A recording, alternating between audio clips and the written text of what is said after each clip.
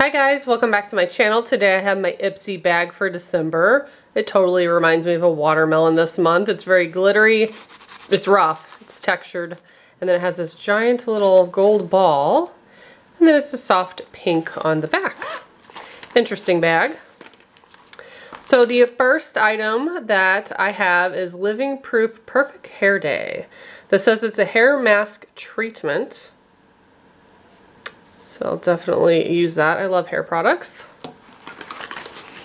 Then we have Madagascar Centella.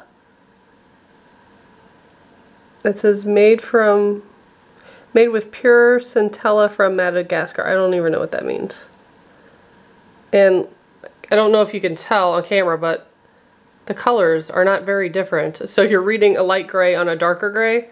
Very hard to read. Let me see what the heck this even is. It says on the back to add one or two drops to your face before your face care routine. So after you wash it. So, interesting. Then we have Anastasia of Beverly Hills. This is Brow Wiz. I don't think I've tried this before. I like that. Fine tip for creating hair-like strokes. And we have a spoolie brush. I'm excited for that. I do do my brows every day, so awesome. Then we have a facial moisturizer. Self-absorbed, it's called.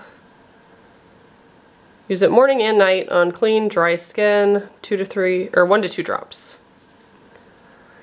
And then, last product we have is Tresluce maybe is how you say it, beauty. I don't know why all the beauty brands have like really hard names to pronounce. But this is a volumizing, lengthening mascara. A little sample size of that. So not bad. I will use pretty much all these products that came this month. If you guys would like to sign up for Ipsy, I'll put a link below. And if you want to see any of my past boxes or bags, check out my channel. Thanks so much for watching. Bye guys.